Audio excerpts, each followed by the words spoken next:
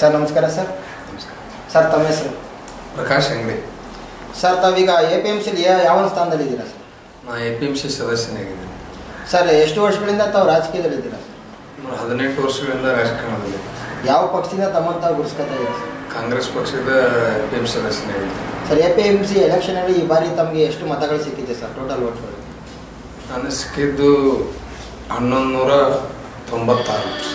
Sir leading leading ಎಷ್ಟಿತ್ತು ಅರವತ್ತೆಂಟು ಮತಗಳಿಂದ ಅಂತರದಿಂದ ಆರಿಸಿದೆ ರಾಜಕೀಯಕ್ಕೆ ಬರೋಕ್ಕೆ ತಮಗೆ ಸ್ಫೂರ್ತಿ ಏನು ಸರ್? ರಾಜಕಾರಣಕ್ಕೆ ಬರೋಕ್ಕೆ ನಮಗೆ ಸ್ಫೂರ್ತಿ ಮೂಲತಃ ಸಮಾಜ ಸೇವೆ ಸಾಮಾಜಿಕ ಅಭಿವೃದ್ಧಿ ಸಾಮಾಜಿಕ ನ್ಯಾಯದಡಿ ನಾವು ಒಬ್ಬರು ಗುರುತಿಸ್ಕೊಂಡು ಸಮಾಜ ಸೇವೆ ಮಾಡಬೇಕು ಅನ್ನೋ ಸದುದ್ದೇಶದಿಂದ ರಾಜಕಾರಣಕ್ಕೆ ಸರ್ ರಾಜಕೀಯದಲ್ಲಿ ತಮ್ಮ ಫ್ಯಾಮಿಲಿ ಬೇರೆ ಯಾರು ರಾಜಕೀಯದಲ್ಲಿ ನಮ್ಮ ಮೂಲ ಅಜ್ಜವರು ಗದಗ ಬೆಟಗೇರಿ ನಗರಸಭೆ ಸುಮಾರು ಹದಿನೆಂಟು ವರ್ಷ ಕಾಲ ಅಧ್ಯಕ್ಷರಾಗಿದ್ದರು. ಇಡೀ ಉತ್ತರ ಕರ್ನಾಟಕ ಅಥವಾ ರಾಜ್ಯನೇ ನೋಡುವಂಥ ರಸ್ತೆ ಸುಧಾರಣೆ ಮಾಡೋದ್ರ ಮೂಲಕ ನಮ್ಮ ಜರ್ ಸಿ ಎಫ್ ಅಂಗಡಿ ಅಂತೇಳಿ ಉತ್ತಮ ಆಡಳಿತ ಕೊಟ್ಟಿದ್ದಾರೆ. ಮತ್ತು ನಮ್ಮ ಅಜ್ಜವರು ಭದ್ರಾಪುರ ಗ್ರಾಮ ಪಂಚಾಯತಿ ಚೇರ್ಮನ್ರಾಗಿ ಕೆಲಸ ಮಾಡಿದ್ದಾರೆ ವೈಸ್ ಚೇರ್ಮನ್ರಾಗಿ ನಮ್ಮ ಫಾದರು ಮಂಡಳ ಪಂಚಾಯತಿ ಸದಸ್ಯರಾಗಿ ಕೆಲಸ ಮಾಡ್ಯಾರ. ನಾನು ಎ ಪಿ ಎಂ ಸದಸ್ಯನಾಗಿದ್ದೆ. ಬರುವಂಥ ದಿನಮಾನದಲ್ಲಿ ಮುಂದೆ ಹಲವಾರು ಹುದ್ದೆಗಳ ಅಲಂಕರಿಸುವ ಸಾಧ್ಯತೆಗಳು ಇವೆ ಹಾಗಾಗಿ ರಾಜಕಾರಣ ಈಗಿನ ರಾಜಕಾರಣ ಪರಿಸ್ಥಿತಿ ಬಹಳ ಹೊಲಸಾಟ ಹೊಲಸ ಸಾಧ್ಯತೆ ಆದ್ರೆ ರಾಜಕಾರಣ ಪ್ರೀತಿ ಮಾಡ್ಬೋದು ನಾವು. ರಾಜಕಾರಣ ಮಾಡೋದ್ರಿಂದ ಎಲ್ಲ ಸುಧಾರಣೆ ಆಕೈತೆ ತಪ್ಪು. ರಾಜಕಾರಣದಿಂದನೇ ಎಲ್ಲ ಆಕೈತೆ ಸರಿಯಾದ ಕ್ರಮ ಅಲ್ಲ. ಈಗಿನ ರಾಜಕಾರಣಕ್ಕೆ ಯುವಕರು ಬರದೇ ಇರತಕ್ಕಂಥದ್ದು, ಜಾತಿ ವ್ಯವಸ್ಥೆ ಹೋಗದೇ ಇರ್ತಕ್ಕಂಥದ್ದು. ನಿರಂತರ ಒಂದು ಸೊಸೈಟಿ ಚುನಾವಣೆಯಿಂದ ಹಿಡಿದು M L A M P ಚುನಾವಣೆಯವರೆಗೂ ಕೂಡ ಜಾತಿ ವ್ಯವಸ್ಥೆ ತುಂಬಿ ತುಳುಕುತ್ತಿರುವುದರಿಂದ ರಾಜಕೀಯ ಗಬ್ಬು ಹಿಡಿದು ಘಟಾಂತರ ಒಟ್ಟಾರೆ ಹಾಗಾಗಿ ಈಗಿನ ಯುವ ಪೀಳಿಗೆ ಜಾತಿ ವ್ಯವಸ್ಥೆಯನ್ನು ದೂರಿಡ್ತಕ್ಕಂಥ ವ್ಯವಸ್ಥೆಯನ್ನು ಅಳವಡಿಸಿದ್ದಾದ್ರೆ ಬರುವಂಥ ದಿನಗಳಲ್ಲಿ ಯಾವುದೇ ಚುನಾವಣೆಯು ಕೂಡ ಯುವಕರಿಂದ ಚುನಾವಣೆ ಆಗುವುದರ ಜೊತೆಗೆ ಉತ್ತಮ ಆಡಳಿತ ನಿರೀಕ್ಷೆಯನ್ನು ಜನಸಾಮಾನ್ಯರು ಮಾಡಬಹುದು ಅನ್ನುವಂಥ ಆಶಾಭಾವನೆಯನ್ನು ನಾನು ಕಲ್ಪಿಸಿದೆ ಸರ್ ರಾಜಕೀಯಕ್ಕೆ ಬಂದ ಮೇಲೆ ತಾವೇ ಅಧಿಕಾರ ಸ್ವೀಕರಿಸ್ಕೊಂಡಿದ್ದೀರಾ ಎ ಪಿ ಎಂ ಸಿಲಿ ರೈತರಿಗೆ ಏನೇನು ಅಭಿವೃದ್ಧಿ ಕಾರ್ಯಕ್ರಮಗಳು ಹಮ್ಮಿಕೊಂಡಿದ್ದೀರಾ? ನಾವು ರೈತರಿಗಾಗಿ ಸರ್ಕಾರದಿಂದ ಸಿಗ್ತಕ್ಕಂಥ ಸವಲತ್ತುಗಳನ್ನು ಗೊಬ್ಬರದ ಸಮಸ್ಯೆಯನ್ನು ಬಗೆಹರಿಸಿ ಪ್ರತಿ ಒಂದು ಗ್ರಾಮ ಗ್ರಾಮಗಳಿಗೂ ಕೂಡ ಗೊಬ್ಬರದ, ಆಯಾ ಕಾಲಕ್ಕೆ ಆಯಾ ಕಾಲಕ್ಕೆ, ಮಳೆ ಆದಂಥ ಸಂದರ್ಭದಲ್ಲಿ ಗೊಬ್ಬರ ಸರಬರಾಜು ಮಾಡೋ ನಿಟ್ಟಿನಲ್ಲಿ ಸರ್ಕಾರ ಗಮನ ಸರ್ಕಾರದಿಂದ ಎಲ್ಲ ರೀತಿಯಲ್ಲಿ ಸಬ್ಸಿಡಿ ಮುಖಾಂತರ ಗೊಬ್ಬರವನ್ನು ಸರಬರಾಜು ಮಾಡಿದ್ದೇವೆ.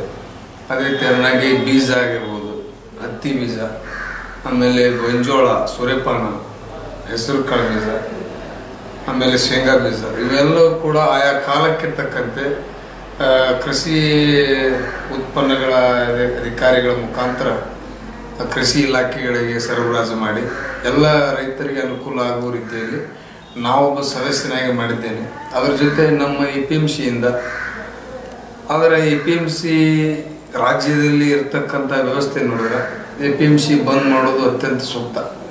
ಯಾಕಂದ್ರೆ ಹತ್ತು ರೂಪಾಯಿ ಖರ್ಚು ಮಾಡದೇ ಇರತಕ್ಕಂಥ ಒಂದು ಇಲಾಖೆ ರಾಜ್ಯದಲ್ಲಿ ಯಾವುದಾದ್ರೂ ಐತಿ ಅಂತಂದ್ರೆ ಅದು A P M C A P M C ಅನ್ನೋದು ದೊಡ್ಡದು, ಆದರೆ ಎ ಪಿ ಎಂ ಸಿಗೆ ಹತ್ತು ರೂಪಾಯಿ ಕಿಮ್ಮತ್ತು ಇಲ್ಲ.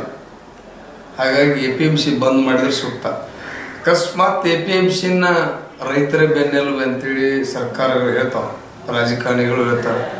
ಅವರ ಕೂಡಲೇ ಸರ್ಕಾರ ಎ ಪಿ ಎಂ ಸಿ ಬಗ್ಗೆ ಗಮನ ಹರಿಸಿ ಎ ಪಿ ಎಂ ಸಿ ಅಧ್ಯಕ್ಷರಿಗೆ, ಸದಸ್ಯರಿಗೆ ಆಡಳಿತ ಸುಧಾರಣೆ ಮಾಡೋ ನಿಟ್ಟಿನಲ್ಲಿ ರೈತರಿಗೆ ಸಿಗ್ತಕ್ಕಂಥ ಸವಲತ್ತುಗಳನ್ನು, ರೈತ ಪ್ರತಿನಿಧಿ ಆಗಿರ್ತೀವಿ ನಾವು. ಯಾವುದಾದ್ರೂ ಒಬ್ಬ ರೈತ ಅಕಸ್ಮಾತ್ ಸತ್ನಂದ್ರೆ, ಅಕಸ್ಮಾತ್ ಯಾವುದೋ ಒಂದು ಆಕ್ಸಿಡೆಂಟ್ ಆದರೆ, ರೈತ ರೈತಾಪಿ ಕೆಲಸ ಮಾಡಕ್ಕೆ ಹೋದಂಥ ಸಂದರ್ಭದಲ್ಲಿ ರೈತರಿಗೆ ಅನಾನುಕೂಲತೆ ಆದಂಥ ಸಂದರ್ಭದೊಳಗೆ ನಮಗೆ ಅವರು ಶಾಂತವನ್ನೇ ಹೇಳಕ್ಕೆ ಎ ಪಿ ಎಂ ಸಿಯಿಂದ ಹತ್ತು ರೂಪಾಯಿ ಕೊಡ್ತಕ್ಕಂಥ ಕಿಮ್ಮತ್ತು ನಮ್ಮ ಹತ್ರ ಇಲ್ಲ.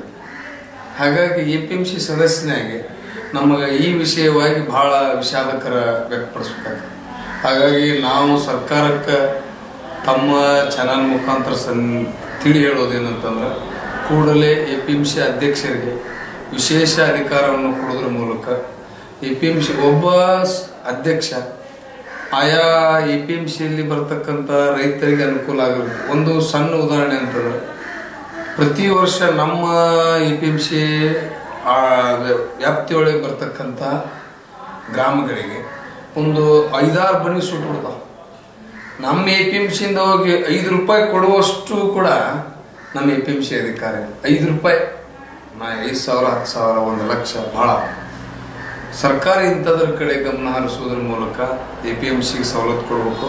ಇಲ್ಲದೇ ಇದ್ರೆ ಎ ಪಿ ಎಂ ಸಿ ಬಂದ್ ಮಾಡಿ ಈ ಇಲಾಖೆಯನ್ನು ಮತ್ತೊಂದು ಇಲಾಖೆಯೊಳಗೆ, ಜಿಲ್ಲಾ ಪಂಚಾಯತಿ ಇಲಾಖೆಯೊಳಗೆ ಒಳಪಡಿಸಿದ್ದ ಕರೆ ಅದು ಇದನ್ನು ಸುಧಾರಣೆ ಮಾಡಕ್ಕೆ ಅನುಕೂಲ ಆಗುತ್ತೆ ಆದರೆ ಎ ಪಿ ಎಂ ಸಿನ ಎ ಪಿ ಎಂ ಸಿ ಆಗಿ ಉಳಿಸಿದ್ರೆ ಯಾವುದೇ ಕಾಲಕ್ಕೂ ಸುಧಾರಣೆ ಅಸಾಧ್ಯ ಮತ್ತು ಅದರ ರೈತರಿಂದನ ಎ ಪಿ ಎಂ ಸಿ ಸುಧಾರಣೆ ಆಗ್ಬೇಕಂತಂದ್ರೆ ರೈತರು ಮೊದಲಿಗೆ ದಲ್ಲಾಳಿಗಳ ಮೂಲಕ ಏನು ಹೋಗ್ತಿರ್ತಾರಲ್ಲ, ಇಲ್ಲೇ ನಮ್ಮ ಎ ಪಿ ಎಂ ಸಿಯಲ್ಲಿ ಬಂದು ಖರೀದಿ ಮಾಡಿ, ದ ದಲ್ಲಾಳಿ ಅಂಗಡಿ ಅಂತ ಹೇಳೋದು ಖರೀದಿಗಾರನ ಕರೆತಂದು, ಅವ್ರ ಮುಖಾಂತರ ನಾವೇನಾದರೂ ಎ ಪಿ ಎಂ ಸುಧಾರಿಸಿದ್ರೆ, ಇಡೀ ರಾಜ್ಯದಲ್ಲಿ ನಮ್ಮ Annigeri A P M C ಅತ್ಯಂತ ಒಂದು ಉತ್ತಮವಾದಂಥ ಆಡಳಿತ ಉತ್ತಮವಾದಂಥ ಹಣಕಾಸಿನಿಂದ ಉತ್ತಮವಾದಂಥ ಕೊಡುಗೆಯನ್ನು ಸರ್ಕಾರಕ್ಕೆ ಮುಟ್ಟಿಸ್ಬೋದು. ಮತ್ತು ಎ ಪಿ ಎಂ ಸಿ ಅಭಿವೃದ್ಧಿ ನಿಟ್ಟಿನಲ್ಲಿ ಹೋಗಲಿಕ್ಕೆ ರೈತರು ಮುಂದೆ ಬರಬೇಕು ಮೊದಲು. ರೈತರು ಎ ಪಿ ಎಂ ಸುಧಾರಣೆ ವಿಷಯಕ್ಕೆ ಬಂದ್ರೆ. ಆದರೆ ಸರ್ಕಾರ ಎ ಪಿ ಎಂ ಸಿ ಸುಧಾರಣೆ ಮಾಡೋಕೆ ಮೊದಲು ಎ ಪಿ ಎಂ ಸಿಗೆ ಅಧಿಕಾರ ಕೊಡಬೇಕು ಎ ಪಿ ಎಂ ಸಿ ಅಧ್ಯಕ್ಷ, ಸದಸ್ಯ ಅಂದರೆ ಇದು ಅಧಿಕಾರಕ್ಕೇನು ಕಿಮ್ಮತ್ತಿಲ್ಲ ಸದಸ್ಯ ಆಗಿ ಹತ್ತು ನಿಮಿಷ ಬಂದು ಹೋಗ್ಬೋದು. ಅಧ್ಯಕ್ಷ ಆಗಿ ಹತ್ತು ನಿಮಿಷ ಬಂದು ಹೋಗ್ಬೋದು. ಆದರೆ ಅಧ್ಯಕ್ಷಿಗೂ ಕಿಮ್ಮತ್ತಿಲ್ಲ ಸದಸ್ಯಗೂ ಕಿಮ್ಮತ್ತಿಲ್ಲ ಕಿಮ್ಮತ್ತಿನ ಪ್ರಶ್ನೆ ಯಾಕೆ ಬರ್ತೈತೆ ಅಂತಂದ್ರೆ, ಒಬ್ಬ ಅಧ್ಯಕ್ಷ ನಾನು, ಆಯಾ ಡಿಪಾರ್ಟ್ಮೆಂಟ್ ಆಯಾ ಇಲಾಖೆಯಲ್ಲಿ ಬರ್ತಕ್ಕಂಥ ನಮ್ಮ ಎ ಪಿ ಎಂ ಸಿ ಇಲಾಖೆಯಲ್ಲಿ ಬರ್ತಕ್ಕಂಥ ಸುಧಾರಣೆ ಮಾಡಲಿಕ್ಕೆ, ಸರ್ಕಾರಕ್ಕೆ ಮನಮುಟ್ಟುವ ರೀತಿಯಲ್ಲಿ ನಮ್ಮ ಎ ಪಿ ಎಂ ಸಿ ಸುಧಾರಣೆ ಮಾಡ್ಬೇಕಾದ್ರೆ ಹತ್ತು ರೂಪಾಯಿ ನಾವೊಂದು ಖರ್ಚು ಮಾಡಬೇಕು ಒಂದು ಕರೆಂಟ್ ಬಿಲ್ ತುಂಬಕ್ಕಾದ್ರೂ ಬೋರ್ಡ್ ಕಮಿಟಿ ಪರ್ಮಿಷನ್ ಬೇಕು. ಎಲ್ಲಕ್ಕೂ ಬೋರ್ಡ್ ಕಮಿಟಿ ಬೋರ್ಡ್ ಕಮಿಟಿ ಅನ್ನೋದ್ರಿಂದ ಎ ಪಿ ಎಂ ಸಿಯಿಂದ ನಾವೇನಾದರೂ ಸುಧಾರಣೆ ಮಾಡೋಕ್ಕೆ ಸಾಧ್ಯ ಕೂಡಲೇ ಸರ್ಕಾರ ಈ ಕಡೆ ಗಮನ ಹರಿಸಿ, ಎ ಪಿ ಎಂ ಸಿಗಳ ಸಮಗ್ರ ಬದಲಾವಣೆ, ಅಖಂಡ ಬದಲಾವಣೆ ಅಂದರೂ ಅಡ್ಡಿಯಿಲ್ಲ ಅಂದ್ರೆ ಇದನ್ನಂತಾರೆ ಏನಂತಾರೆ? ಅಂತಂದ್ರೆ ಅಮೆಂಡ್ಮೆಂಟ್ ಮಾಡ್ಬೇಕಂತ. ಎ ಪಿ ಎಂ ಸಿ ಕಾಯ್ದೆಯಲ್ಲಿ ತಿದ್ದುಪಡಿ ಮಾಡೋದ್ರ ಮೂಲಕ ಸರ್ಕಾರ ಎ ಪಿ ಎಂ ಸಿಗೆ ಎರಡು ಒಗ್ಗಟ್ಟಾಗಿ ಒಂದು ತೀರ್ಮಾನ ಮಾಡಿ. ಎ ಪಿ ಎಂ ಸಿ ಅಧ್ಯಕ್ಷರಿಗೆ ಒಂದು ವಿಶೇಷ ಅನುದಾನ, ವಿಶೇಷ ಅಧಿಕಾರ ಕೊಟ್ಟು ಅದರಿಂದ ಸುಧಾರಣೆ ಮಾಡೋಕ್ಕೆ ಸಾಧ್ಯ. ಒಂದು ಪುರಸಭೆ ಇರ್ತೈತಿ ಒಂದು ಗ್ರಾಮ ಪಂಚಾಯತ್ ಇರ್ತೈತಿ ಒಂದು ಪುರಸಭೆ ಸ್ಟ್ಯಾಂಡಿಂಗ್ ಕಮಿಟಿ ಚೇರ್ಮನ್ ಅದಾವ. ಹತ್ತು ಸಾವಿರ ರೂಪಾಯಿ ಎದಕ್ಕಾದ್ರೂ ಯೂಸ್ ಮಾಡ್ಬೋದು. ಹತ್ತು ರೂಪಾಯಿ ಯೂಸ್ ಮಾಡಕ್ಕೆ ನಮ್ಮ ಎ ಪಿ ಎಂ ಸಿ ಅಧ್ಯಕ್ಷರಿಗೆ ಪವರ್ ಇಲ್ಲ. ಮತ್ತು ಹೆಂಗಿದೆಯಲ್ಲ ಹಾಗಾಗಿ ಕೂಡಲೇ ಸರ್ಕಾರ ಎ ಪಿ ಎಂ ಸಿ ಬಗ್ಗೆ ಸರಿಯಾದ ಒತ್ತು ಕೊಡಬೇಕು.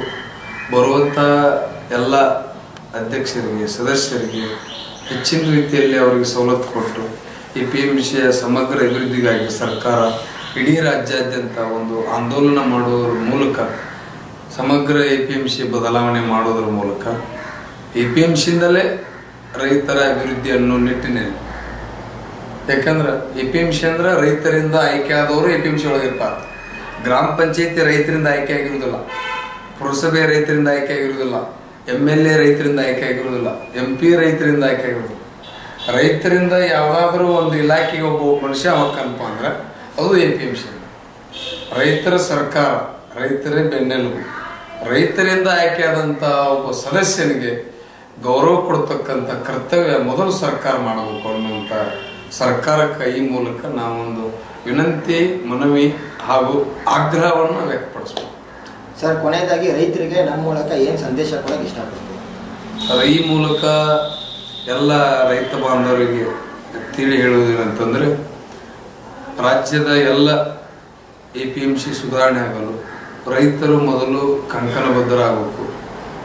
ರೈತರಿಂದಲೇ ಎ ಪಿ ಎಂ ಸಿ ಸುಧಾರಣೆ ಸಾಧ್ಯ ವಿನ ಎ ಪಿ ಎಂ ಸಿ ಸದಸ್ಯರಿಂದ, ಅಧ್ಯಕ್ಷರಿಂದ, ವ್ಯಾಪಾರಸ್ಥರಿಂದ ಸುಧಾರಣೆ ಆಗೋದಿಲ್ಲ ವ್ಯಾಪಾರಸ್ಥರು, ರೈತರು ಒಗ್ಗೂಡಿಸಿ ರೈತರು ತಾವು ಬೆಳೆದಂಥ ಬೆಳೆಗಳನ್ನು ದಲಾ, ದಲ್ಲಾಳಿಗಳ ಮೂಲಕ ಕೊಡುವುದನ್ನು ತಪ್ಪಿಸಿ, ತಾವೇ ನೇರವಾಗಿ ಎ ಪಿ ಎಂ ಸಿ ಬಂದು ಎ ಪಿ ಎಂ ಸಿ ವ್ಯಾಪಾರ ವಹಿವಾಟು ಮಾಡೋದ್ರಿಂದ ಒಂದು ಉತ್ತಮವಾದಂಥ ಎ ಪಿ ಎಂ ಸಿ ಸುಧಾರಣೆ ಮಾಡಲು ಸಾಧ್ಯ. ರೈತರೆಲ್ಲರೂ ಎ ಪಿ ಎಂ ಸಿ ಮೂಲಕ ತಮ್ಮ ಮಾರಾಟಗಳನ್ನು, ಬೆಳೆಗಳ ಮಾರಾಟಗಳನ್ನು ಮಾಡಬೇಕಂತೇಳಿ ಈ ಸಂದರ್ಭದಲ್ಲಿ ತಮ್ಮೆಲ್ಲ ರೈತರಿಗೆ ವಿನಂತಿ ಪೂರ್ವಕ ಒಂದು ಮನವಿ ಮಾಡ್ತೀನಿ. ಸರ್ ಇಷ್ಟೊಂದು ನಮ್ಮ ಜೊತೆ ತುಂಬ ಧನ್ಯವಾದಗಳು.